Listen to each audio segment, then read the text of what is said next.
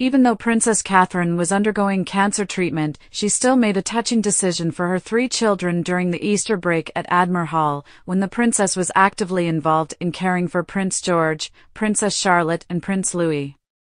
In a world often dominated by glitz and glamour, moments of genuine humanity shine brightest. Princess Catherine, amidst her own battle with cancer, has exemplified such a moment of compassion and selflessness. While many would understandably focus solely on their recovery, Princess Catherine has demonstrated a profound understanding of the importance of being present for her children, especially during their time away from school. Despite undergoing treatment, she has actively engaged in caring for her three children during their school holiday allowing for precious moments together, showcasing a remarkable dedication to motherhood.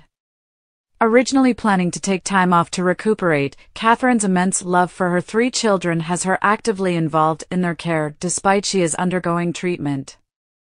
In the serene surroundings of Norfolk, the royal family has shared heartwarming moments at Anmer Hall, where Catherine personally prepares meals for her children, including their favorite, pizza.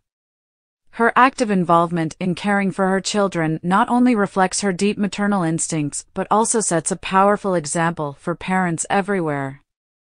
It underscores the significance of cherishing precious moments with loved ones and making the most out of every opportunity, regardless of the challenges one may be facing.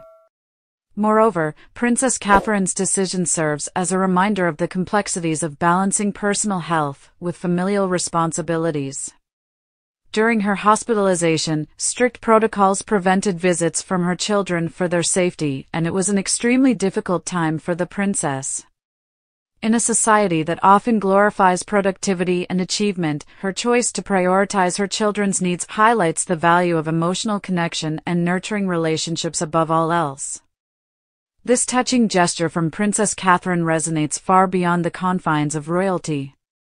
It speaks to the universal themes of love, sacrifice, and resilience that resonate with people from all walks of life. Away from the spotlight of social media, the family enjoys simple joys and quality time together, treasuring these moments that undoubtedly will endure a lifetime. Despite facing her own health challenges, Catherine takes pride in her children's growth and development.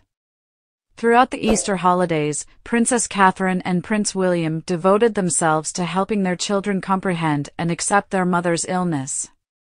On Sunday, King Charles and Queen with a few British royals member attended the service at St. George's Chapel, but the Prince and Princess of Wales and their three children were not among them. The family appeared at the service last Easter but decided to step back following the princess's health announcement this month. Catherine said she has cancer in a video statement after undergoing abdominal surgery.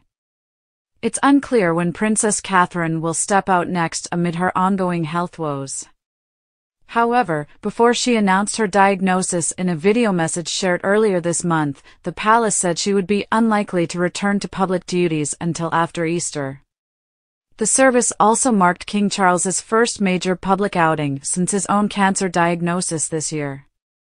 Buckingham Palace announced Charles had cancer in February after he underwent a prostate procedure. As Princess Catherine continues her journey of healing, her unwavering devotion to her children stands as a testament to the power of love to conquer even the greatest challenges. Princess Catherine's decision to actively care for her children amidst her battle with cancer is a poignant reminder of the enduring power of love and family.